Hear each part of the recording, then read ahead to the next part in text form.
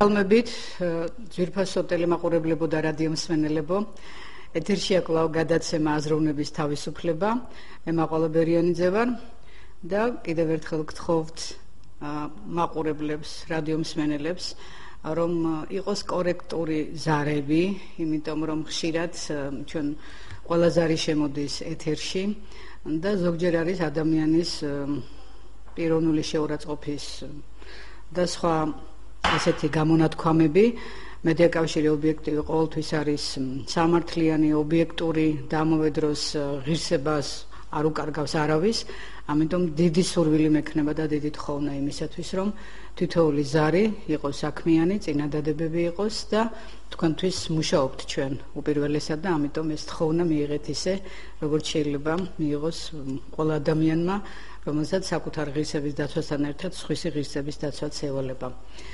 დღეს ჩვენ თემა გვაქვს საქართველოსთვის მართლაც ფუნდამენტური მიმართულების, რომელიც ეხება განათლებას, ჩვენი ბავშვების, ჩვენი ქვეყნის მომავალს და ამდენად ძალიან დიდი პასუხისგებლობით შევარჩიეთ დღეს სტუმრები.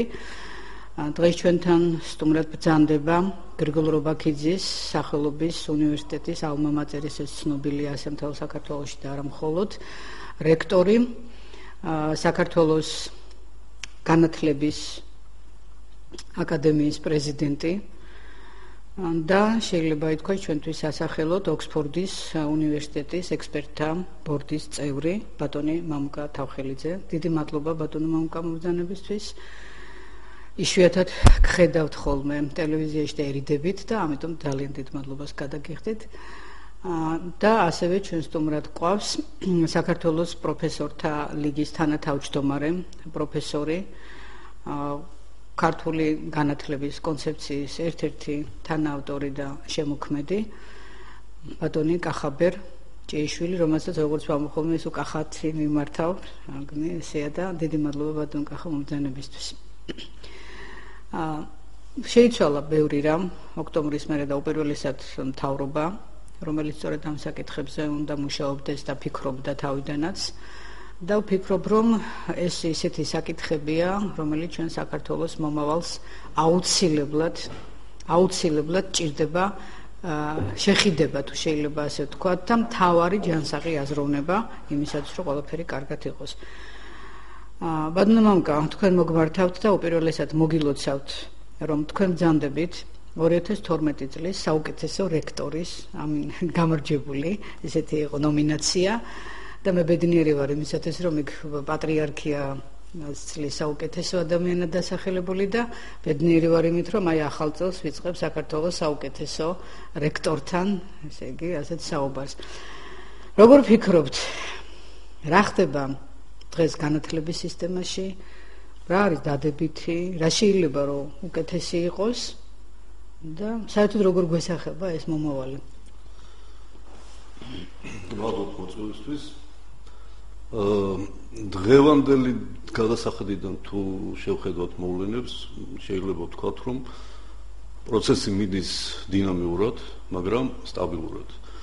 აა თავარი მომენტი რაც შეიძლება აღნიშნოთ ახლა არის ის, რომ გადაწყვეტილებების მიღება ხდება არა სპონტანურად, არა ნაუცბადევად, არა გაუაზრებლად, არამედ აწონ აწონ დაწონის შედეგად, საზოგადოებასთან კომუნიკაციის შედეგად და შეიძლება ზოგს ეჩვენებოდეს კიდეც რომ ამდენად დორეთ მიდის მოვლენები, მაგრამ მე ვფიქრობ ასეთი დორე მოვლენების სულა უკეთესია ვიდრე ნაჩქარები გადაწყვეტილებები. თუმცა უნდა ისიც აღნიშნოთ, არ შეიძლება დავკარგოთ დაუკარგოთ წინახელისუფლებას ის დადებითი ტენდენციები, რაც ამ რეფორმის თვალსაზრისით განხორციელდა. ბევრი რამ რა თქმა უნდა კარგი კარგს ბევრ კარგ ტრადიციას ჩაეყარა საფუძველი თუმცა შეიძლება იქაც იყო აჩქარები გადაწყვეტილები მაგრამ სწორედ აი ახალი ხელისუფლების ამოცანა იქნება იმ კარგის შენარჩუნება და კორექტირების გაკეთება სწორი მიმართულებით. აა ბანო თქვენ როგორ აფასებთ? ახლა ეს ნელამიდის პროცესები და დაფიქრებულად თუ უბრალოდ ეს ყველაფერი არის ისე რომ არაფერი არ იცვლება და ვერ ამჩნევს საზოგადოება მცვლილებებს. დიდი მადლობა მოწევისთვის, მივესალმები ტელემაყურებელს და რადიო მსმენელს. წელს 2013 წელს პირველად ვარ ამ სტუდიაში მინდა მოგილოცოთ ესეთი ლამაზი სტუდია რაც შეეხება თქვენს კითხვას. ეს ცოტა რთული საკითხია იმ თვალსაზრისით რომ ინფორმაცია ინფორმაციის ნაკლებობა გარკვეული თვალსაზრისით. ანუ რაც ჩანს გარედან რაც ჩანს გარედან ეს არის ერთი ხოლო რა პროცესებიც მიმდინარეობს შიგნით და უნდა მიმდინარეობდეს და იმედი გვაქვს რომ მიმდინარეობს ეს არის მეორე მე დავითანხმება რომ მამუკას რომ ეს არ არის ადვილი პროცესები, იმიტომ რომ ამ 9 წელმა და არა მხოლოდ 9 წელმა მანამდეც რაღაც პროცესები ვითარდებოდა, რომელმაც ამ შედეგამდე მოგვიყვანა. მოგიხსენებათ განსაკუთრებით განათლებასთან დაკავშირებით განათლება ეს ერთ-ერთი იარაღია და ძალიან ძლავრი იარაღია. ჯერ კიდევ ილია ჭავჭავაძე გახსოვთ მინდა შეგახსენოთ ყველას მინდა შევახსენო როცა ბძანებდა რომ ხმლით მოსულმა მტერმა ვერა დაგვაკლო და ცოდნით მოსული ძალიან სახიფათო იქნება ხო გარკვეული ინტერპრეტაცია ასე ვთქვათ ხო ამ ყველაფრის აქედან გამომდინარე ჩვენც უნდა ესე დავხვდეთო განათლებით ცოდნით აღჭურვილი და შეარაღებული. სხვა გზა არ გვაქვს ჩვენ. ხო, რა თქმა უნდა, სხვა გზა არ გვაქვს, მაგრამ გარკვეული პროცესები, რომელიც მიმდინარეობდა ამ ბოლო 20-22 წლის განმავლობაში საქართველოში და განსაკუთრებით ბოლო 9 წლის განმავლობაში, მიუხედავად იმისა, რომ მე აქ ბატონ მამუკასა მინდა დავეთანხმოიცე, რომ რაღაც ძრები იყო სასიკეთო კიდეც, ეს შეიძლება ითქვას აი კორუფციასთან ბრძოლის თვალსაზრისით და რაღაც სულისკვეთება ნამდვილად შემოვიდა ახლის უკეთესის გაკეთების მაგრამ აი როგორ გაკეთდა ეს ახალი და სულისკვეთების იქეთ რა და როგორ გაკეთდა ეს რა თქმა უნდა პირადად ჩემთვის ცოტა საკამათო საკითხებია თუ გადავხედავთ იმ შედეგებს რაც მივიღეთ რა შედეგზეც გავედით ყველაფერი არის კავშირში რაღაც გარკვეულ მიზეზებთან, ხო, მიზეზ შედეგობრივ კავშირში. ისა, ბადნო მამუკა, ბოდიში ხდება, ნუ თქვენ შემიძლია თამამად განმაცხადო და ვინც არ უნდა შემეკამათოს ამაში, მე მაგას დაუნტკიცებ, რომ თქვენ საქართველოსში გამორჩეული ბრძანდებით, იმით რომ სიღრმისეული და ფესვებიდან იცით განათლების სისტემა. მე ვიცი რომ თქვენ მუშაობდი ჯავახიშვილის უნივერსიტეტში და თქვენი რჩევები ისეთი იყო რომ ყველა რექტორი ამას ითხოვდა ჯავახიშვილში არა პუშკინის აა ხო სულხან-საბა ხო მაშინდელი სულხან-საბა უნივერსიტეტი სახელობის პედაგოგიური ინსტიტუტში მე უნივერსიტეტი გახდა და ასე შემდეგ. მაგრამ ისიც ვიცი რომ თქვენ საჯარო ბიბლიოთეკიდან არ გამოდიოდით თვების მანძილზე, როდესაც თქვენ გადაწყვიტეთ სკერძო უნივერსიტეტის დაფუძნება და ყველა ამბობდა კაცო, კი მაგრამ რაღა უნდა ისწავლოს, რომ თანათლების სისტემა დავიდან ბოლომდე კარგად იცისო. შეისწავლეთ მთელი მსოფლიოს გამოცდილება და მე მიმაჩნია, რომ თქვენი უნივერსიტეტი, კერძო უნივერსიტეტია, ერთ-ერთი საუკეთესო არის საუკეთესოთა შორის. აი, რა არის ის მთავარი? აი, იმ განათლების რეფორმაში დღეს, რაც აერთიანებს და ყოფს კერძო და სახელმწიფო უნივერსიტეტებს. იმიტომ რომ ეხლა ისეთი რაღაცები მიდის და ცხადდება, რომ ბევრი რამ მე თვითონ არ მომწონს. შესაძლებელია ეხლა მე ისე სიღრმისეულად ვერ ფლობდი ამ ინფორმაციას, მაგრამ როდესაც ემატება 10 მილიონამდე, ვთქვათ, ბიუჯეტში, მაინც და მაინც აქცენტია გაკეთებული რომ ჩამონათვალია ხო? რომელიც უფასო სწავლება იქნება და აქ მე მგონი რომ არ ფიგურირებს ხო? არ მეშლება არ ფიგურირებს სახელმწიფო კერძო უნივერსიტეტები. და ხომ არ არის ეს დაჩაგვრა რაღაც გარკვეული ფორმით? მოგახსენებთ 90-იან წლებში თუ გადავალთ ცოტა ხნით ასე ვთქვათ დავინახავთ რომ იმ დროს სახელმწიფო უმაღლესი სკოლა იყო მონოპოლიზირებული მონოპოლია ქონდა აღებული განათლებაზე და ეს კიდევ არაფერი. საქმე იმაში იყო რომ დისკრედიტაცია ხდებოდა სახელმწიფო სექტორის მიერ კერძო უმაღლესი სკოლების. მაგრამ სწორედ იმ პერიოდში იუნესკოს განათლების მართვის ინსტიტუტმა ჩაატარა გამოკვლევა საქართველოსში დასაქმების მაჩვენებლების მაჩვენებლების მიმართულებით. აღმოჩნდა რომ პირველ ხუთეული პირველი ხუთეული გამოყვა იუნესკოს ინსტიტუტმა და აღმოჩნდა რომ პირველ ხუთეულში მხოლოდ კერძო უმაღლეს სასწავლებლები იყვნენ გაერთიანებული და მათ შორის ჩვენიც. ეს მაშინ როცა სახელმწიფო უმაღლეს სასწავლებელი მაშინდელი მე არ დავასახელებ ახლა კონკრეტულად ამ სასწავლებლებს 22 და 29 ადგილებზე აღმოჩნდნენ დასაქმებები. რა იყო ამის მიზეზი ბატონო? ამის მიზეზი იყო სწორედ ის, რომ სახელმწიფო უმაღლესი სკოლები საბჭოთა ინერციით მიდიოდნენ ჯერ კიდევ. ანუ არანაირი ცვლილება პროგრამული თვალსაზრისით არ მოხდა.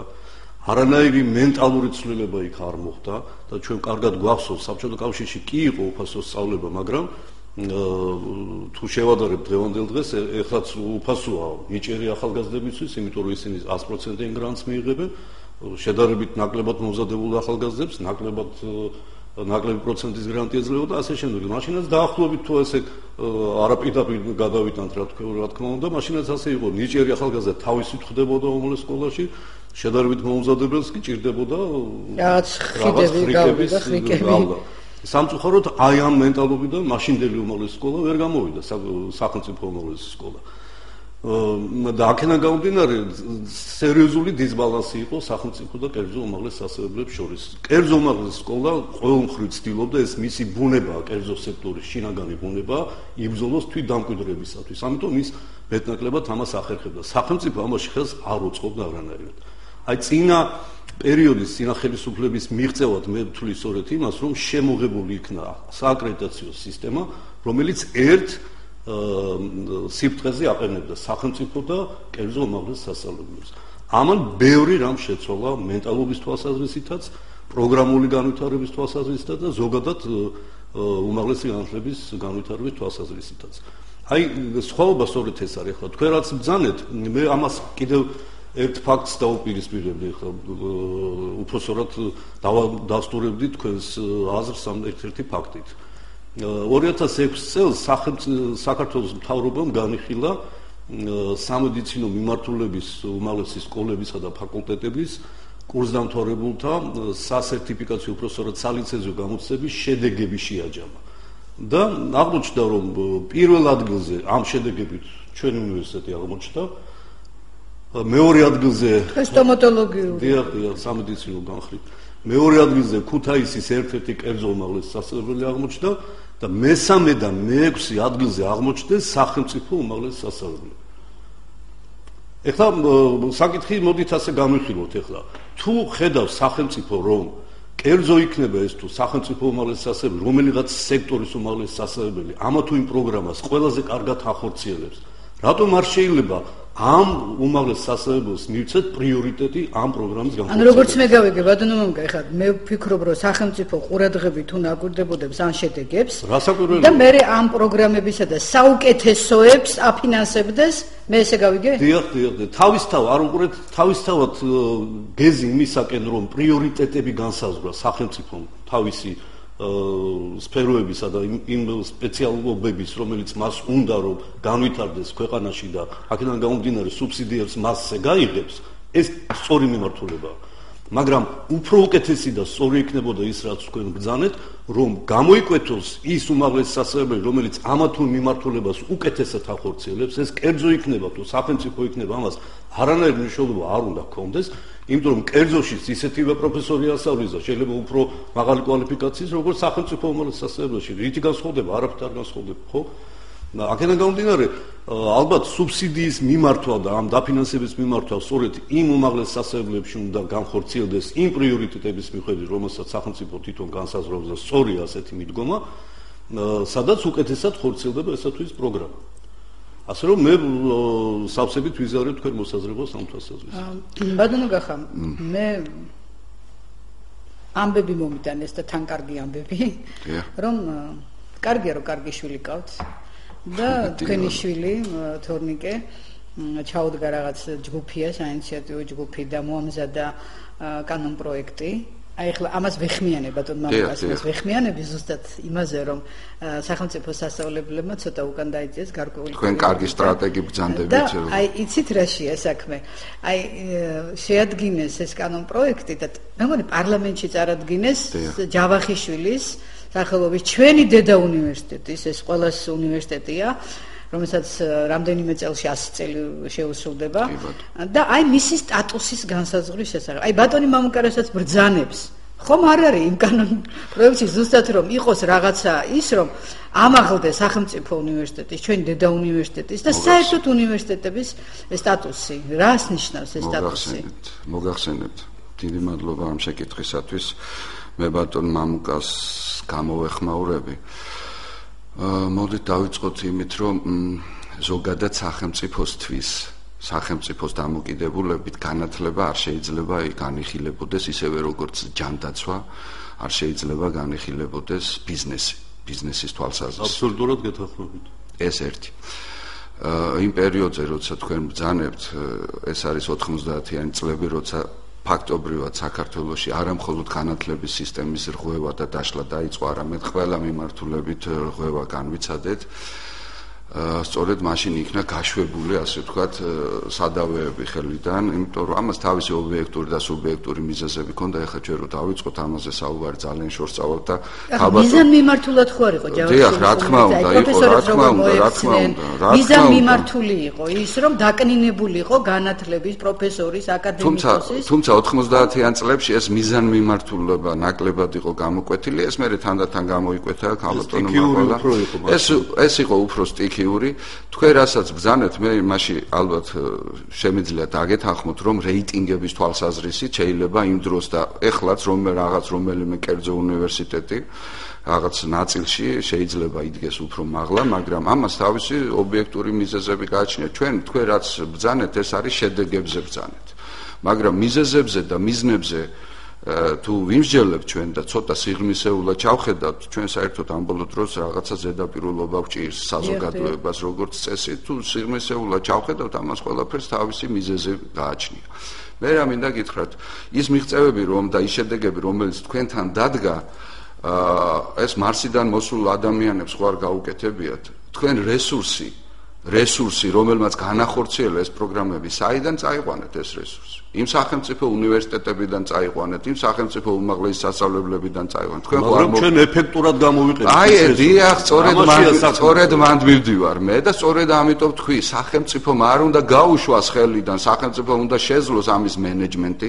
და სახელმწიფო მეზარ უნდა მიუშვას თვითვინებაზე და არ უნდა გადააქციოს უმაღლესი განათლება თავის დამოკიდებულებით, კიდე ერთხელ ხას უსვამ ისევე როგორც ჯანდაცვა, კეთილდღეობის სახელმწიფო ზრუნავს ამ ორ და ეს მისთვის არის პრიორიტეტი. თუ გვინდა რომ საზოგადო არ შეიძლება გადააქციოს ბიზნესად. სამწუხაროდ ჩვენთან ეს ბოლო დრომდე განიხილებოდა როგორც ბიზნესი სახელმწიფოს მხრიდან, სახელმწიფოს დამოკიდებულებაში.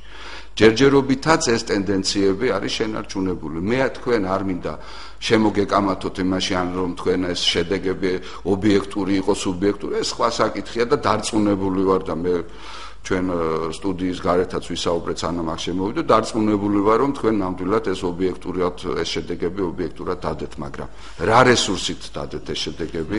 რა მოგცათ თქვენ აი ამის გაკეთების საშუალება? ეს ხო ძალიან მნიშვნელოვანია. თუ სახელმწიფო აი იმ რესურს თქვენს პირად რესურსაც თუნდაც როგორც რექტორისას და კიდევ სხვა რესურს გამოიყენებს სწორ მიმართულებას მისცემს სწორ მენეჯმენტს გააკეთებს და მოახდენს ამისა განათლების სისტემაში დარწმუნებული ვარ რომ ჩვენ კარგ შედეგებს მივიღებთ. და რაც შეეხება პრიორიტეტულობას, განათლება სწორედაც რომ პრიორიტეტული დარგი უნდა იყოს. იმიტომ რომ განათლებიდან არაფერი არავითარი ეკონომიკა და არავითარი წინსვლა და სოფლის მეურნეობა ჩვენ არ გვექნება თუ ჩვენ ვერ მივხედავთ ან არ მივხედავთ განათლების სისტემას და რაც მთავარია ჩვენ არ დავდგებით სწორ ეროვნულ იდეურ საფუძ იდეურ ნიადაგზე განათლებას. გავაგზავნებთ ბატონგახა ზარია ეთერში გისმენთ? გისმენთ ბატონო.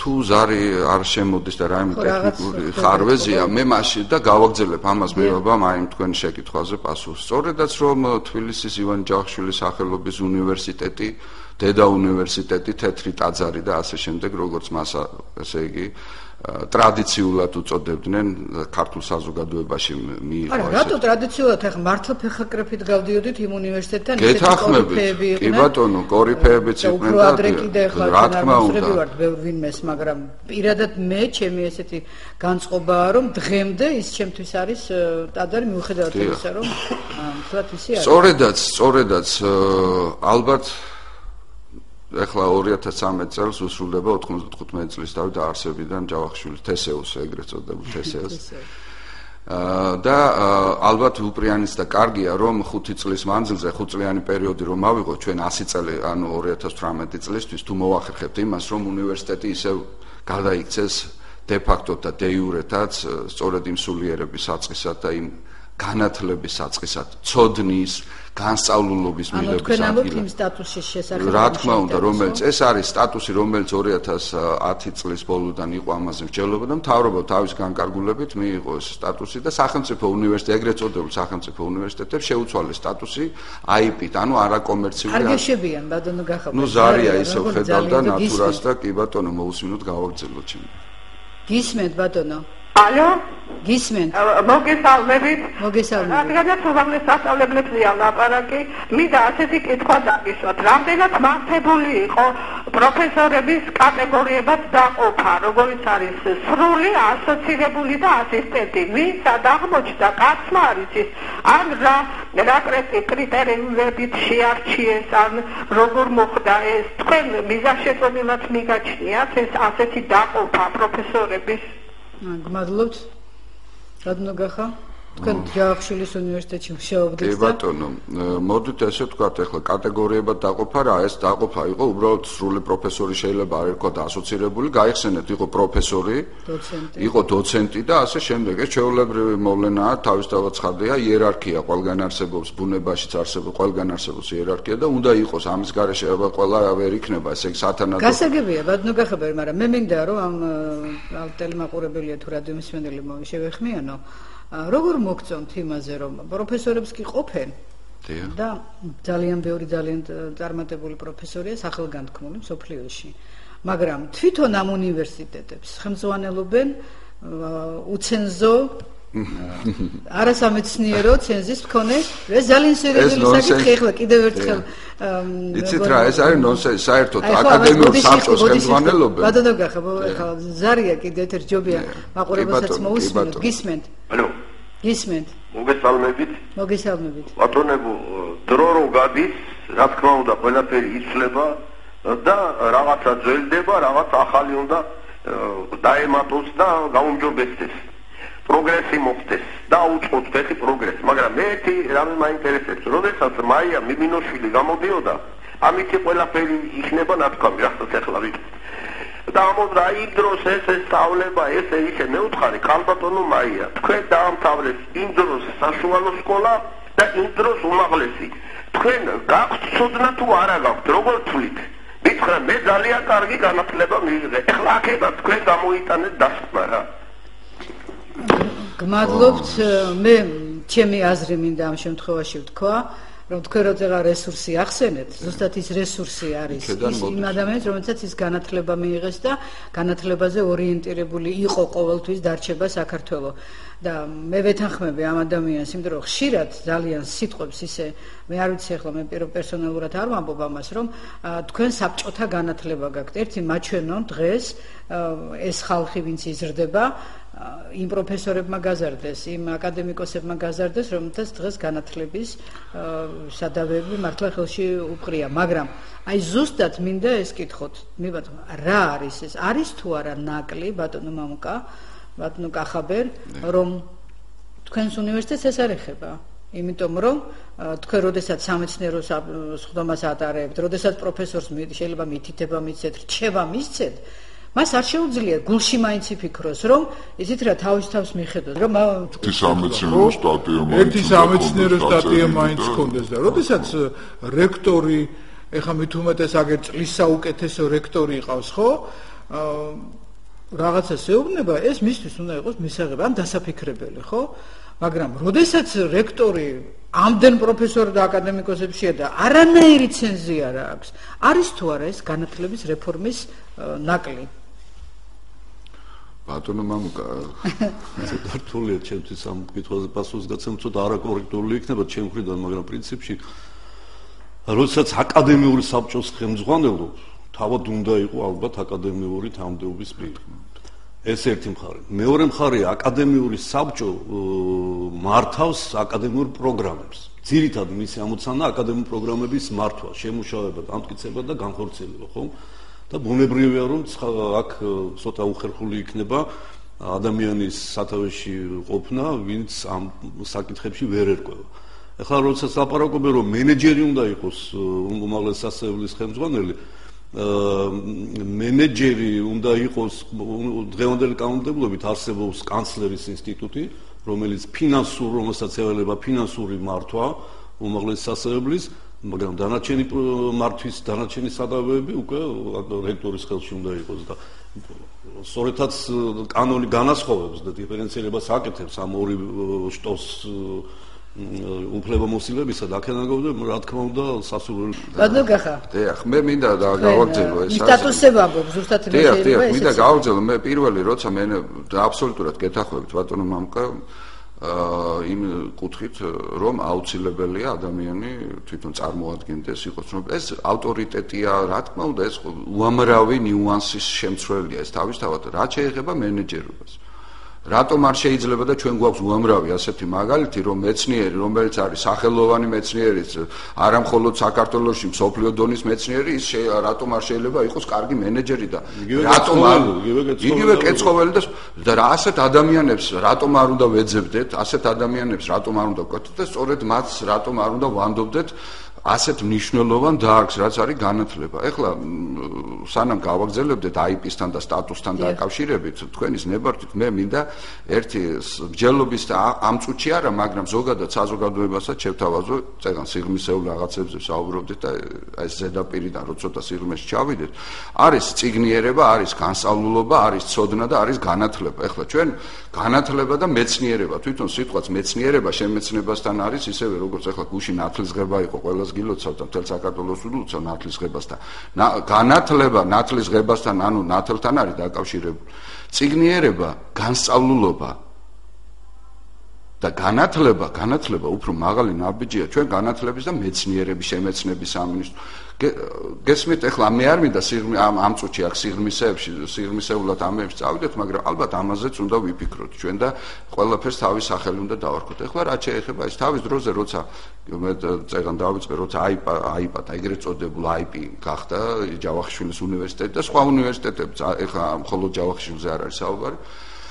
იქ კანონმდებლობაში შემოიღეს თქვენ იცით ბატონო მამკა ხო? ეს არის რეგენტთა საბჭო.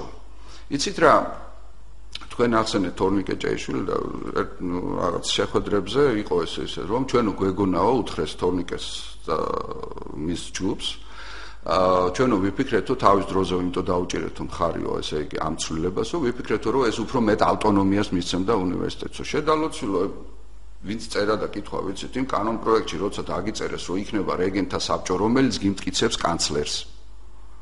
თუ არ ესე იგი იცით რომ წარმომადგენლობითმა საბჭომ თუ არ დაამტკიცა რეგენტთა საბჭოს ორჯერ თუ არ დაამტკიცა რეგენტთა საბჭოს მიერ წარდგენილი კანცლერი რეგენტთა საბჭოს უფლება მოსილება აქვს რომ პირდაპირ დანიშნოს.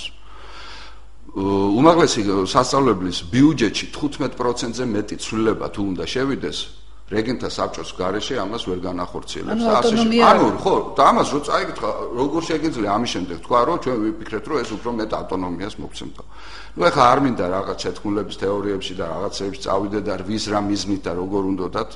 ამას ალბათ დროთა განმავლობაში ყველაფერი თავის ადგილას დაალაგდება და ყველაფერს თავის სახელი დაერქმევა აქ ძალიან ჩემი პირადი აზრია და არა მხოლოდ ჩემი აზრით ცით ჩვენ ხშირად ვჯელობთ ამ საკითხებზე. ძალიან დიდი დაინტერესება იყო მე ვფიქრობ ქონებრივი საკითხებით დაინტერესება პიროვნებების ან ჯგუფების გარკვეული გავლენის გადანაწილება რა თქმა უნდა იმიტომ რომ აი ეს აიპით გადაკეთება იძლეოდა იმის საშუალებას რომ სახელმწიფო ფაქტობრივად იხსნიდა თავის თავზე ქონების მართვის განკარგვის ამ ამ და გადაეცემოდა რეგენტთა საბჭოს და რეგენტთა საბჭო შეეძლო გაესხვისებინა ეს ქონება, გაეკირავებინა და ასე შემდეგ. ამის ბევრი მაგალითი ნახეთ ბატონო. ხო, რა თქმა უნდა. ეხლა რას რასთან მაქვს საქმე რა? იცით რომ ბოდიშით რა დავასრულებ თუ შეიძლება. და რაც შეეხება სიპი, ანუ საჯარო სამართლის იურიდიული პირი, სახელმწიფო ისევ გარკვეულ პასუხისმგებლობას იბრუნებს. ესე არის პირველი ნაბიჯი. ჩვენ არ ვამბობ და არც სტუდენტები ამბობენ და არავინ რომ ეს არის გადამწყვეტი მნიშვნელობის და აქედან ეს არის პირველი ნაბიჯი რეალური დამოუკიდებლობის, რეალ უნივერსიტეტის რეალური დამოუკიდებლობის, რეალური ავტონომიურობის მოპოვების გზაზე. უნდა გადაიდგას სახელმწიფომ უნდა აიღოს თავის თავზე გარკვეული პასუხისმგებლობა ყველაზე ძველი და ყველაზე სახელოვანი უნივერსიტეტის წინაშე ეს არის აუცილებელი და მე იმედი მაქვს რომ საზოგადოებაც ამას ჩაერთვება ამ განხილვებში ძალიან აქტიურად და საზოგადოებრივი აზრი შეიქმნება იმისთვის რომ ეს განხორციელდეს. ახლა ზარია ეთერში უპასუხობდა ეს თავარი რეფორმის მიმართულებებზე მე მინდა გისმენთ გისმენთ შეიძლება? კი ბატონო, კი. აი ძალიან საინტერესო ამბებზე საუბრობთ, ყველანაირ თეორიულზე, ყველანაირ შესაძლებლობაზე. სულ ყოველთვის, მაგრამ მაინტერესებს ის პროდუქტი, რასაც ჩვენი უმაღლესი დასავლებლები უშვებენ, გინდა კერძო და გინდა საზოგადო, რომ უცოდინარები არიან და რო ყოილად იწერება ნიშნები, რომ ფაქტიურად დიპლომებით ვაჭრობა არ არის ასე. ძალიან მაინტერესებს, აი თონე სტუდენტებისა, სკოლიდან დაწყებული განათლების ეს ხო ნულის ტოლია თითქმის. ძნელი არ დაეთანხმო ამ შემთხვევაში. ოღონდ ეს არ არის მხოლოდ ნიშნების დაწერა არ დაწერაზე, მე მგონი არა ბატონო მამუკა. უფრო უფრო სიღრმისეულ პროცესებთან და სიღრმისეულ პრობლემებთან გვაქვს მე მგონი საქმე. პროგრამები, სასწავლო პროგრამები, რომლებიც ხორციელდება. სასწავლო პროგრამები და არა მხოლოდ ახლა მე ძალიან წინ გადადგმული ნაბიჯია ჩემს მოგახსენებთ, ну გახა იმასთან დაკავშირებით რომ ეროვნული გამოცდები რო ტარდება, ხო? ეს არ არის ცუდი, რაღაც გარკვეულ შესაძლებლობებს იძლევა რომ ადამიანმა თავის ცოდნა და განათლება გამო მეტნაკლებად რა თქმა უნდა მე ის ბევრი რამ არ მომწონს იქ მაგრამ მე არ ვეთანხმები როდესაც მიზანი შეიძლება ვცდები რომ როგორმე იქ ბავშვი მოხდეს და რატომ? დაიწყება პირველიდან 20 ჩამონათვალია ახლა მithumetes და ადამიანი პირველად წერს თავის სურვილებს რაც უნდა.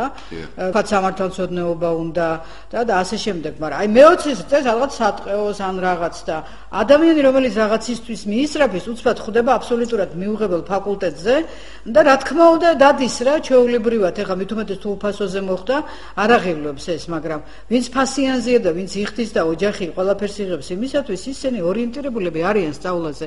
სხვისი არ ვიცი რა ახლა ჩემ მე რომ პირველად 7 წელი 7 უფლება ქონდა. ანუ სურვილი აქვს, სურვილი აქვს ცოდნა. იმას 7-ვე სხვადასხვა უნივერსიტეტებში ჩამოწერა მხოლოდ ერთი ფაკულტეტი, სამართალმცოდნეობა. ეს უნდა ბავშვს. ამ დროს თქვა, სახელმწიფომ რა გააკეთა? გამოაცხადა რომ სამედიცინოზე და სამართალმცოდნეობაზე ვისაც უნდა, იმას გრანტები საერთოდ მინიმალური გაგდა საერთოდ არ მისცა. ანუ მე ვფიქრობ რომ ეს არის ძალიან დაჩაგრა იმ ბავშვის ვისაც რაც უნდა იქით მე მიისწრაფეს ანუ მაღალ პროფესიული კადრები რომ გაიზარდოს და ამ ადამიანს მე აუცილებლად ვეთანხმები ამაში რომ ვეთანხმები იმიტომ რომ ხშირ შემთხვევაში გამოდიან და დასაქმების თვალსაზრისით კერძო უნივერსიტეტები მათ შორის ბატონო ამკას უნივერსიტეტი არის იმ სამეულში თუ ხუთეულში და დასაქმების მაღალი პროცენტია იმიტომ რომ იმათმა იციან მე ბავშვები კარგად სწავლობენ პრაქტიკებზე მაგრამ ხოლო დასაქმება არ უნდა იყოს თვითმიზანი ქალბატონო მაგრამ არა მაგას არ ვამბობ მე ვამბობ სულ სხვა რამეს რომ ეს ტელემაყურებელი ამ შემთხვევაში აბსოლუტურად სწორს ამბობს, იმიტომ რომ ჩვენ ჭირდება არა მხოლოდ იქ მოსიარულე დიპლომის ამღები სტუდენტი, არამედ ის ადამიანი, ვინც სახელმწიფოს გამოადგება. აი ახლა რეფორმაზე სწორით იმიტომ მინდა კითხოთ, ახლა იმიტომ რომ პირველად შემოვიდა. აი რეფორმაში მე ვიცი რომ კი ბატონო სახელგანთქმული მეცნიერი არის ბატონი დვალი. დიახ, დვალი. და შეიძლება მზამზარეულიც ქონდა წინას და ნაფიქრიც ქონდა ყველაფერი. დღევანდელი აი იმ მაყურებლიდან და ჩვენის რეალური სიტუაციიდან გამომდინარე. ჩვენ მზად ვართ იმისათვის რომ თქვათ ეს რეფორმები რომელიც ჰაერში ტენო არის სისტემა რო შემოვიდა აბა ბატონო მამუკა ეგ როგორ არის? ისეთ რა ჩვენ ეხლა უნდა ვილაპარაკოთ. ხო არ ვახტებით რამდენიმე საფუძველ სადაც ის თავარი ქჩება მოგახსენებთ მოგახსენებთ საქართველოს საგანმანათლებლო სივრცე სისტემა უბრალოდ ისე როგორც საბჭოთა კავშირისა აცდა მსოფლიო საუნივერსიტეტო განვითარების ყველა ეტაპს გარკვეული ობიექტური მიზეზების გამო. ეს იყო ინდუსტრიული, ეს იყო პოსტინდუსტრიული განვითარების ეტაპები. მოდა მოდერნისტული უნივერსიტეტები წამოვიდა და სწორედ აი ამ პერიოდს მოუსწარით, ასე ვთქვათ, როდესაც დაიშალა საბჭოთა კავშირი. ანუ პირდაპირ აღმოჩნდით ჩვენ მოდერნისტული უნივერსიტეტების სივრცეში. დღეს, როდესაც ჯავახიშვილის უნივერსიტეტი დაფუძნდა თავის დროზე, მაშინ სამუშაო ძალა იყო ფიზიკური ძალა. დღეს ჩვენ საინფორმაციო საზოგადოებაში ვცხოვრობთ. აქ უკვე სულ სხვა პრინციპები, სულ სხვა მიდგომები და სულ სხვა მეთოდოლოგია საჭირო განათლების მისაღებად და იმ მოთხოვნების შესასწავლად ჯერ და შემდეგ დაგმაყოფილებისათვის, რაც დღეს დღესდღეობით საინფორმაციო საზოგადოებას გააჩნია. ამიტომ ესე ერთნიშნულად ამ საკითხის გადაწყვეტა ესე არ შეიძლება და თუ ამ კონცეფციაზე ვისაუბრებთ ჩვენ ჩვენ და ვილაპარაკოთ ამ კონცეფციის არა ალკარგიანობაზე მე მგონი, არამედ იმიტომ რომ ეს უკვე ეს არ არის ახალი ველოსიპედი, ეს სადღაც უკვე აპრობირებულია მსოფლიოში ეს სისტემა. უნდა უკვე უარის კითხვა. დიახ, დიახ და ეს ჩვენ და ვილაპარაკოთ აი ამ სისტემის ადაპტირებულობაზე ჩვენს რეალობაზე. რამდენად მზად ვარ? რამდენად არის საქართველოს პირობებისათვის მზად ყოფნაზეც არ არის აქ ლაპარაკი. მისაღები. მისაღები. საქმე რა შეიცით ახლა და მე ერთი მთავარი ნაკლი რაც ჩემის აზრით ამ კონცეფციას აქვს ეს არის აქცენტის მოჭარბებულად გაკეთება მეცნიერებაზე და შედარებით ნაკლები აქცენტია განსწავლებაზე. არა და უნივერსიტეტი პირველ რიგში სწავლება. ახლა მეორე საკითხია თუ ჩვენ აქ ვისაუბრებთ თქვა ისეთი მეცნიერების თქვა აუცილებლობაზე უნივერსიტეტში როგორიც არის თვით ბატონი გია მაშინ უნდა ვთქვათ, რომ საერთოდ უნდა დაიხუროს უნივერსიტეტები საქართველოში.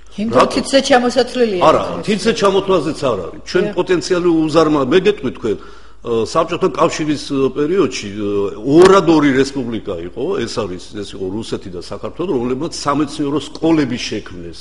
რამდენიმე მიმართულებით. ეს ორი რესპუბლიკა და ერთი იყო სომხეთი, რომელსაც ერთი მიმართულებით ჰქონდა მარტო ესეთი სკოლა შექმნილი.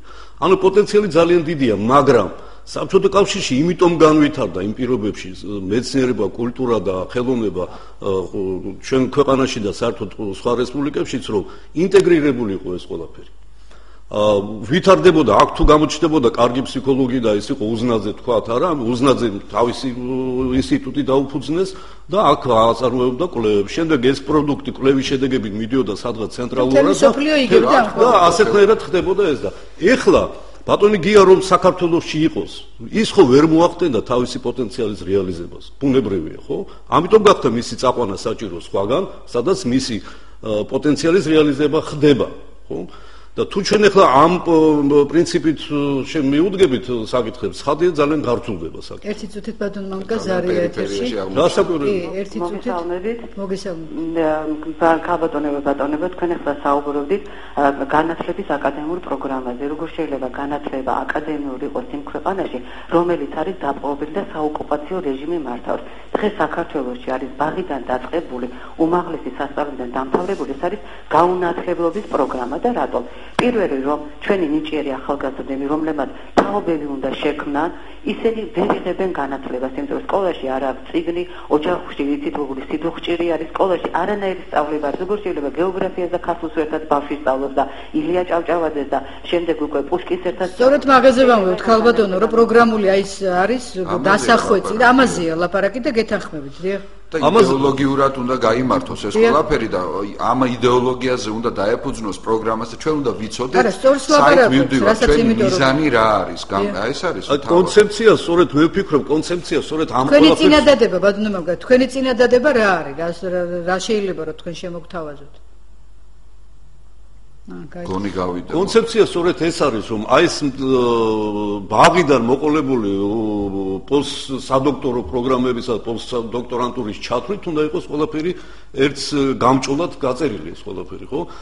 თვითონ ბაკალავრიატი, მაგისტრატურა და დოქტორანტურაც კი დღესდღეობით მაგალითად მე ნონსენსი შემიძლია ვთქვა, რომ ეს პრობლემა თუ ამას არ ჩამეთვლით ზედმეტ რაბახად, ჩვენ უნივერსიტეტში ნამდვილად გადაწყდა ის, რომ ბაკალავრიატის პროგრამა სხვა პრინციპებზე აგებული და სხვა პროგრამა და სხვა მეთოდოლოგიით იმართება. მაგისტრატურა სხვა მეთოდოლოგიით იმართება და დოქტორანტურა სხვა მეთოდოლოგიით იმართება რომ არაფერი თქვა თი ჩინა არის ამ პროგრამის და დღესდღეობით სამწუხაროდ ბაკალავრისა და მაგისტრატურის პროგრამები სხვა ბევრ უმაღლეს სასწავლებელში მე ვიცი არაფრით არ განსხვავდება ერთმანეთთან სამწუხაროდ. ბატონო ხა უპასუხოთ და მე თქვენი აზრი მაინტერესებს. გისმენთ? გისმენთ გამარჯობათ. გამარჯობათ. აა, გაცხავთ მე სხვა თემაზე მინდა შეგეკითხოთ სხვა თემაზე მინდა გადაცემა. მე გახლავთ გიორგი ხადაძე ვირეკავ საფრანგეთიდან. აა, მოგესალმებით გიორგი, როგორ ძანდებით? კარგად, მადლობა. თქვენ ხო, რამდენადაც ვიცი თქვენ თეატრ ჯგუფში იყოს თუმცა ხო გახდა. გისმენთ? გისმენთ გიორგი? დიახ, დიახ, მე სხვა სხვა თემაზე მინდა მოგაცემთ. მინდა გითხრათ რომ მე ვარ ემიგრანტი მე ვარ ემიგრანტი 20 წელია საფრანგეთში და სხვის ქვეყანაში სხვა ბუდეში რომ იყვნენ გავზარდე შვილები და მინდა დავბრუნდე საქართველოს არ მეძლევა შესაძლებლობა. ამაზე მიზეზი? მიზეზი გიორგი? და შევწი არჩევნების წინაპირობებში და მითხრა პროგრამაზე ემიგრანტებთან დაკავშირებით ერთად გვემუშავა მაგრამ არჩევნების შემდეგ ვეღარ მივახდი ძალიან ჩახერგილი იყო გზები და არც მიწია უკვე დაუბრუნდი უსწრაფოდ არა ვერ შევედი იმიტომ რომ იქ იმდენი ხალხი იყო მისეული თავის ადგილებს ეძებენ ალბათ და მე ჩემი ადგილი ჩემი ადგილი ეს არ არის რა მაგრამ მე უბრალოდ სხვა თემაზე მინდა თქვა ესე იგი არ შედგა სახელმწიფო რომ შეწყდეს ადამიანების რეკეტი. ძერ იყო და კომუნისტებმა და გააგულაკეს ბაბუაჩემი დედაჩემს და მამაჩემს შემდეგ ფაქტს ანგარიშზე ზეთული მე დავამთავრე ის უნივერსიტეტი რომელზედაც თქვენ გასახლა ლაპარაკი და უბრალოდ ოფლი მასხავს რომ ესე მიდის ლაპარაკი რომ საქართველოსი განათლება დაეცა და მოყვა ეს თემა ყველაფერი მოშლია და დაღუპული. უბრალოდ მე მინდა მივაწყენო ხმა მთელ ქვეყანას რომ ვის იქნება რომ ერთი ადამიანი არ წვეთდეს ყველა პრობლემას. ეს იქნება საკაშვილი თუ ვინმე აი მაგალითად განცხადება მაქვს ახლა ეკონომიკის სამინისტროს დაწერილი გახდა 4 თვე არავინ არ კითხულობს ესე იგი სანამ ივანაშვილს არ დაურეკავ და არ დაუკავშირდები და ვერ შევალ იმასთან მანამდე განცხადებას ვერ ეკარები როგორ შეიძლება სახელმწიფო ესე ერთ ადამიანზე ჩამოგიდები და მეორე დიქტატორს ეძახია რა თქმა უნდა დიქტატორი გახდება ეს ადამიანი ვიც ყველა პრობლემაზე გიორგი რა გიშლით თქვენ ხელს რა გიშლით თქვენ საქართველოსი დაბრუნებაში. თქვენი თქმა რომ ნახონ 2391 წელი და 2395 განცხადებები. გიორგი რა გიშლით ხელს თქვენს დაბრუნებაში საქართველოსი არა ამიშლის ხელს გეტყვით. მე ის კაცი არა ვარ რომ ვერ დავუკვირდები საქართველოსი მაგრამ მე ის მიშლის ხელს ის ქვეყანა გეტყვით ახლა სახელმწიფო არის ანუ სახელმწიფო არის სახელმწიფო არ არის შემდგარი არც დღეს და არც ამის სახელმწიფო რომელიც მთელ ქონებას ართმევს ბაბუაჩებს სახელმწიფო რომელიც ართმევს მთელ ქონებას დედაჩებს და მამაჩებს სახელმწიფო რომელიც 1500 მეტრ მიწას ვერ მიბრუნებს, როცა კიდის ჩინელებს და წერეთლებს არხნავ ჩინელებს, ძნელი ხდება ჩემთვის დაბრუნება, თორე ესე კი არავინ ისის დაბრუნებას. მე მინდა ის 1500 მეტრი მიწა, ის არც საზღვარზე, არც სტრატეგიული ჩახედოს ეკონომიკის. ანუ გიორგი, ეხლა ძალიან ძალიან დიდი დროა. ყვანილი რომ არ მინდა ჩემი ფილები გათხოვდეს საფრანგეთში, ან ფრანგზე, ან იტალიაზე. გიორგი, ძალიან კარგია რომ შემოგვეხმიანე.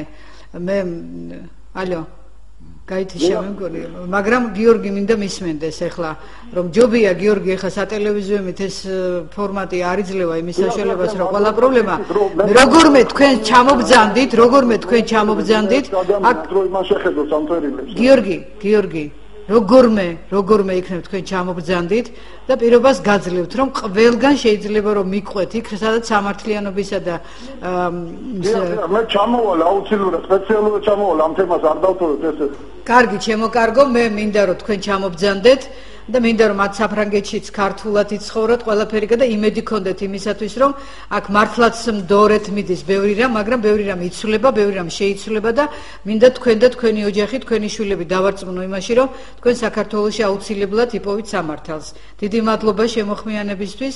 მადლობა და იმედიანად იყავე ეს არ შეიძლება რომ ესე გააკეთე მადლობა ხაი ხო ხედავთ როგორ ხდება ეს. აბსოლუტურად აბსოლუტურად გასაგებია ჩვენ საუბრის დასაწყისში როცა ეს გადაცემა იწყებოდა თქვენ სწორედ ამაზეც ბრძანებდით რაღაც გაკვირით რომ რომ დორეთ ხო არ მიდის პროცესებიო და ბატონ მამუკამაც გასაპასუხი და თითქოს მე შევეცადე ეხლა თუ ჩვენ ამ ზარს მივყვებით ჩვენ ცოტა სხვა ჭრილში გადავალთ პოლიტიკურ ალბათ უფრო არა ამასაც ის უნივერსიტეტი მაგ დამთავრებული და დღეს უკეთესი უნდა მას ეს ეს პრობლემა არის სისტემური და კომპლექსური. და მე მაინც მინდა გითხრათ რომ ამ პრობლემის სათავე სათავის ერთ-ერთი მთავარი მიზეზი სწორედ ის არის რაზეც ჩვენ საუბრობთ. ანუ განათლება ანუ ცოდნა ანუ განსავლულობა და ყველაფერი ერთად აი ეს სისტემა რა და როგორ უნდა შევხნათ? ხალბატონო მოდი ახლა გულწრფელად მითხარი რა. დიახ აი რაღაცები შეიცვალა. სამინისტროში საკადრო ცვლილებებია. ეხლა მოდი რა ნუ დავიწყებთ სიტყვების მოძებნას როგორ უფრო კულტურულად, როგორ უფრო სხვანაირად თქვა. არის ის საკადრო შემოქმედება ეხლა დღეს განათლების სისტემაში, რომელიც ამ პრობლემებს სიღრმისეულად ფესებიდან დაიწყებს და ყველაფერს მიხედავს. გულწრფელად მithქვა. გულწრფელად ალბათ არა. ალბათ არა. მაგრამ მე მგონია რომ ეს არის გარდამავალი ეტაპი. აი ის რომ უცებ არ მოხდებოდა ეს ამის მოლოდინი მე პირადად ნამდვილად არ მქონდა თუმცა იმედი მქონდა გარკვეული იმედი მაგრამ ესეთი მოლოდინი იმიტომ რომ ეს მიბმულია ისე კომპლექსური და სისტემური პრობლემაა მიბმულია პოლიტიკურ სიტუაციასთან მიბმულია იმასთან რომ ჯერ კიდევ ძალა რომელიც საბოლოოდ არ არის დამარცხებული შიგნით კოალიციაში რაღაც გარკვეული პროცესები არის დასალაგებელი ალბათ სხვა თვალსაზრისით და იცით რა დრო ჭირდება ყველაფერს. დრო ოღონდ გონივრულად გონივრული. დიახ ეხლა არ შეიძლება დრო ფლანგო და ელოდო იმას რომ ჩვენ დავждდებით და დრო თავისთვის მოაგვარებს ყველა დრო თავის არაფერს არ მოაგვარებს. გეკითხეთ თუმცა თუ ჩვენ ბოდიში თუცა თუ ჩვენ გონივრულად არ მივხედავთ ამ პრობლემებს და გონივრულ ვადებში დროს აქვს თავისი კანონზომიერება. რა თქმა უნდა. და არსებობს კოსმიური წესრიგი ღმერთს ვედ უწოდებ თუ რა ვისაც რა უნდა ის დაარქვას ის აუცილებლად განხორციელდება დროში. ეხლა მე შეკითხვა მაქვს. დიახ. არის თუ არა ამ ეტაპზე დაჩაგრული სახელმწიფო აი სუბსიდიებით და დახმარებით კერძო უნივერსიტეტები. აი რაც გათვალისწინებულია, არის თუ არა? მე გეკითხები თქვენ, იმიტომ რომ თქვენ ჯავახიშვილის უნივერსიტეტში მუშაობდით და იმის პროფესორი თუ შეიძლება იმ ჯავახიშვილსაც რო თავი დავანებოთ, მე თქვენ პირდაპირ გეტყვით, მე არის თუ არა ჩაგრული? გასაგებია იმ იმ პროგრამის ერთ-ერთი თანაავტორიც გახლავართ, სადაც ამ თემებზეც იყო საუბარი. ძალიან მნიშვნელოვანია ფინანსური საკითხი, ფინანსური უზრუნველყოფა ყველაფერი იმის რაზეც საუბრობ. მე გააკვირით თქვი და რაღაცა მინიშნებით, რომ არ შეიძლება სახელმწიფო ამას განიხილავდეს მეთქი განათლებას როგორც ბიზნესს. რა შეიძლება ახლა დაჩაგრულობა არ დაჩაგრულობას. დღევანდელი სიტუაციით მიუხედავად იმისა, რომ ბადურ მამუკას მე ძალიან დიდ პატივს ვცემ და განწყობილი ვარ მის მიმართ. იცით რა, მე მაინც მინდა თქვა, მე ამ წუთში როგორც სახელმწიფოს პოზიციიდან უნდა თქვა, არ არის დაჩაგრული. და ის მომენტი, რომ სახელმწიფო ფული უნდა მიედინებოდეს აი ესე პირდაპირ გზებით და პირდაპირ ასიგნაციების გზით უნდა მიედინებოდეს კერძო უმაღლეს სასწავლებლებში. მე პირადად ამის წინააღმდეგი ვარ და ის ჯგუფი და ის გუნდი თუმცა ეს იმას არ ნიშნავს მაგ თქვა საუკეთესო პროგრამებზეო. რომელშია საუკეთესო კადრები აი ეს არის მსჯელობის ეს შეიძლება გავხადოთ მსჯელობის საგნად ეს ვაქციოთ მსჯელობის საგნად მაგრამ სანამ ამაზე ვიმსჯელებთ იცით რა მოდით მივხედოთ სტატუსი დაუბრუნოთ იმ უმაღლეს სასწავლებლებს სადაც კიდე ერთხელ ვამბობ გაიზარდა ის კადრები, რომლებიც შემდეგ დაიფანტა. ჩვენ რა რესურსი გვაქვს დღეს? მოდით აღწეროთ, აბა რა რა რესურსი გვაქვს იმისი, რომ ამდენი პროგრამა განხორციელდეს. ბატონო მამუკა, თქვენ როგორ ფიქრობთ? გვაქვს ჩვენ იმხელა რესურსი, რომ ამდენი უმაღლესი სასწავლებელი უზრუნველყოთ? მათი საგანმანათლებლო აი მათი საგანმანათლებლო პროგრამები ხო და ხომ არ ჯობია აი ახლა 95 წლის ხდება წელს უნივერსიტეტი და 5 წლის შემდეგ 100 წლის ხდება ყველაზე ძველი უნივერსიტეტი რომელიც სხვათა შორის რომლის შექმნაში მთელმა ქართულმა ხალხმა და არა მხოლოდ ქართველებმა არამედ ერთად თავართან ოპტიმიზაცია აი მე ზუსტად ამაზე გქონდა ჩვენ ქალბატონმა და იქნებ დავიწყოთ აქედან ისე უნივერსიტეტიდან დავიწყოთ და ვაქციოთ ის ისე ვიმკერად რა კერაც არის ჩვენს შეგნებაში ჩვენს მენტალობაში და საბედნიერო ჯერ კიდევ არ გამქრალა de facto. აბა ბატონო მამ. და de jure ვაქციოთ ეს de facto. კი ბატონო, ახლა მე გეტყვით ახლა ერთ რაღაცას. ახლა ჩვენმა საზოგადოებამ, როდესაც საბჭოთა კავშირის პირობებში ცხოვრობდით, სადაც უფასო იყო ყველაფერი, განათლება, ჯანდაცვა, ну პირობითად უფასო თუ როგორც გვინდა ისე გავიგოთ, ხო. ხო, ჩვენ ამაზე ვარ ვთქვით. როდესაც სახელმწიფო საკუთრება იყო ყველაფერი, ამაზე ჩვენ ვარ ვთქვით. რატომ თქვი თუ არ იმიტომ რომ დავინახეთ ალტერნატივა. იქ სადაც არ იყო ყველაფერი სახელმწიფო მონოპოლიის ქვეშ იქ სადაც იყო დიფერენცირებული საკუთრება იქ თურმე უკეთესად ცხოვრობდა ხალხი. უკეთესი უფრო მეტი პროგრესი აღმოჩნდა და მივიღეთ არა? ანუ მამოძრავებელი ძალა და ენერგია ბატონო კახა თქვენც დამეთანხმოთ იმაში რომ ერთ-ერთი მთავარი მამოძრავებელი ძალა ეს არის კონკურენცია გეთახმებით. აი უყურეთ რა შეესაქმე. მე კონცეპტუალურად გეთახმებით ბევრ მომენტში და გეტყვით რაში და რაში ვერა. თუ ჩვენ არ შევ პირველ რიგში რაც უნდა გადაწყდეს, ეს უნდა გაკეთდეს, რა უნდა გაკეთდეს? უნდა გაკეთდეს, უნდა შეიქმნას ჯანსაღი კონკურენციული პირობები საქართველოსში განათლების სისტემაში. აბსოლუტურად გეთანხმებით იმაში, რომ განათლება არ შეიძლება საუნივერსიტეტო განათლება აქ ხედულობაში თორე განათლება თვითონ შეიძლება ბიზნესი იყოს ეს შეიძლება ამ ხედულობაში არა არა მე ხედულობაში რა მაქვს დაუშვათ იგივე გადამზადების კურსები და ასე შემდეგ ესენი კი მაგრამ საუნივერსიტეტო აკადემიური განათლება რასაკვირველია ბიზნესი ვერ იქნება ვერასოდეს ამიტომ აუცილებელია შეიქმნას კონკურენციული პირობები, ჯანსაღი კონკურენციული ფონი უნდა შეიქმნას საქართველოში იმისათვის, რომ განათლება განვითარდეს. როგორ უნდა შეიქმნას? როდესაც მართველი ძალა ამბობს, რომ მე უფასო უნდა გავხადო განათლება, მე ამ თავითო შემიძლია ვთქვა, რომ ეს იქნება ეს არის პრაქტიკულად შეუძლებელი საქართველოს ეკონომიკის პირობებში. ჩემი აზრით.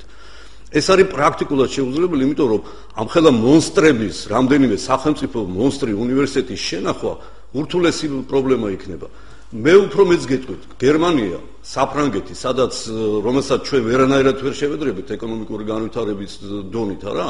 იქ სადაც უფასოა განათლება, უმაღლესი განათლება, იქაც კი უკვე დგას მეგონი გაუჭირდა იქაც კი დგას უკვე საკითხი რომ რა მოიფიქრონ იმისათვის რომ აი ეს პრობლემა გადაწყვიტონ. იმდენად რთულია განათლება. მე გეტყვით ერთ-ერთი ნოტინგემის უნივერსიტეტი ჩვენი პარტნიორი იყო ეს უნივერსიტეტი და 100 მილიონი ფუნტ სტერლინგი ქონდა მას დაფინანსება წლიური.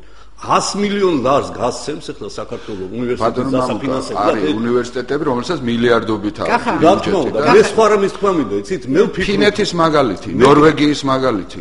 კონკურენცია თანამშრომლობაზე დაფუძნებული. რა თქმა უნდა ეს ძალიან 17%-ს დებს თლიანში და პროდუქტისას ფინეთი განათლებაში. ბატონო მამუკა ჩვენ თუ ამზით არ წავალთ ბატონო კახა აიყურეთ რა მე არ ვამბობ იმას რომ არ უნდა ჩავდო პირიქით მაგრამ მე ვამბობ იმას რომ არ შეიძლება 25 და 30000-იანი უნივერსიტეტი შეინახოს თან რამდენიმე სახელმწიფო.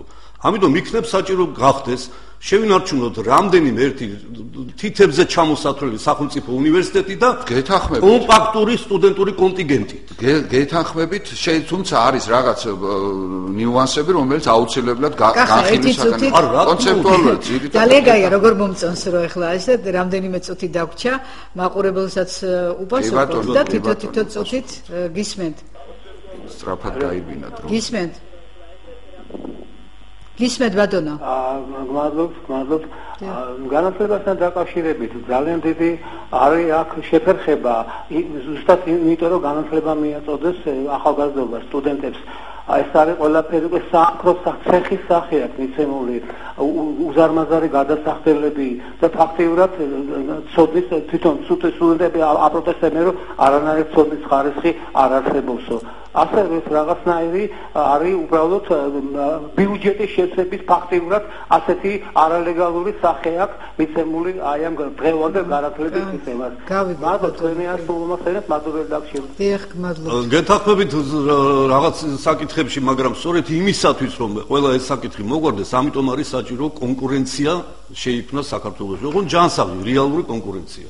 აი ბოლოს რამდენიმე წუთი დაგჭა კახა მაშინ მე ახლა იცით რა ბატონო კახა მოდი ახლა ჩვენ მართლა ძალიან ცოტა დრო დაგჭა ამისთვის მაგრამ ჩვენ რა შეიძლება ამ შემთხვევაში განათლების ამ კონცეფციის შემდგომი განვითარებისათვის თვაც შევთავაზოთ განათლების სამინისტროს. თითო წუთი დაგჭა არც კი. კი ბატონო ერთი ერთი თუ შეიძლება მაინც მინდა ბატონო მამუკას უთხრათ იცით რა 90-იან წლებს როცა განვიხილავთ მე ვთქვი და გააკვირდა აღარ მინდოდა ამას სიღრმეში წასვლა მაგრამ რესურსი რომელიც წაიღო კერძო უმაღლესმა სასწავლებლებმა თქვით ამაზე უკვე. წაიღო და მოუარა. მოუარა, რა თქმა უნდა, მაგრამ მოდით ესეც ვთქვათ რა, რა სასტარტო პოზიციებია და ეხლა დაჩაგრო კონკურენციის პირობებში სასტარტო პოზიციები უნდა იყოს თანაბარი და იქეთ უნდა თანაბარი რა ასაგურებია.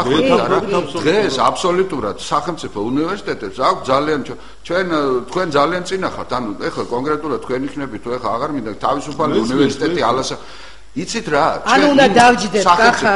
უნდა დავჯდეთ.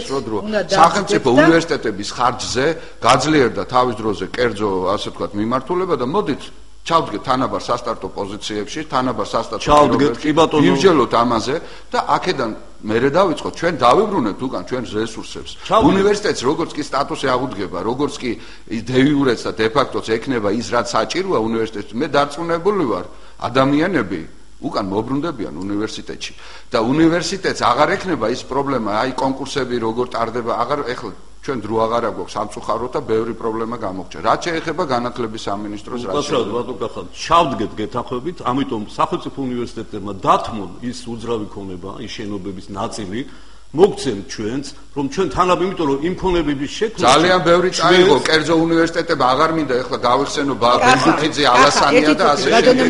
ჩვენზე არა მაგ საუბარი და შევთანხმდეთ ერთ რამეზე უნდა შევთანხმდეთ სამართლიანად დააბრუნონ ის უკან და მე ვილაპარაკო ერთ რამეზე უნდა შევთანხმდეთ რომ დღეს განათლების სისტემის რეფორმა არის ყველამ გავეცანით, მაგრამ არის ხარვეზებით და მე ვფიქრობ, რომ ის თანაბარ უფლებებიანობა, თანასწორი მიდგომები და თანასწორი დამოკიდებულება კერძო და სახელმწიფო უნივერსიტეტებისადმი, ეს არის სახელმწიფოს პრიორიტეტი, პრიორიტეტი, რომ ნორმალური და სამართლიანი სიტუაცია. რა თქმა უნდა და ალბათ განათლების სამინისტრო ამას გაითვალისწინებს. ამაში გაითვალისწინებს. მე ვფიქრობ, რომ ეს ყველაფერი ჩამოსაყალიბებელია კიდე ერთხელ, მაგრამ თვითონ განათლების იდეოლოგიურად რა და რა საფუძველზე უნდა ვიქნათ და საით უნდა ვიმოძრაოთ. ამიტომ მე უღრმეს მადლობას მოგახსენებთ ჩემო კაცო. მადლობა თქვენ. რომ მობძანდით აქ და დიდი მადლობა.